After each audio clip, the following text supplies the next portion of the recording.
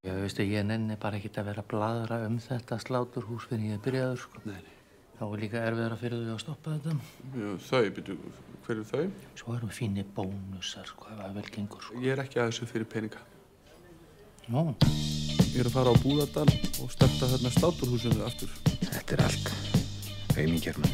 Þetta er sér tilviljun að ég hef náða að vinna upp í þessu fyrirtæki hérna. Þú ert ennþá í einhverjum útreikning.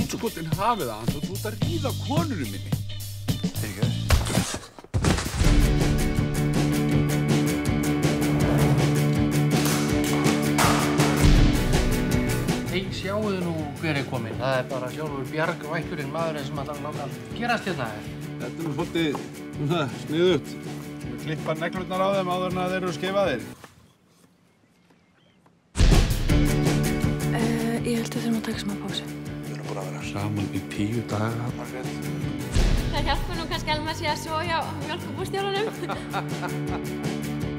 Svo sittur þú bara í fangelsi fyrir bjóta. Ég get alltaf sparkað undan því að fótum um það. Það er ekkert að koma á okkur, er það? Nei, við erum ekki hætti hérna. Ég hef full að trúa því að þetta verkefni muni ganga upp. Gengur ekki. Haltu kjátti, Lóðus. Þetta er ekki að ganga upp. Haltu kjátti, maður.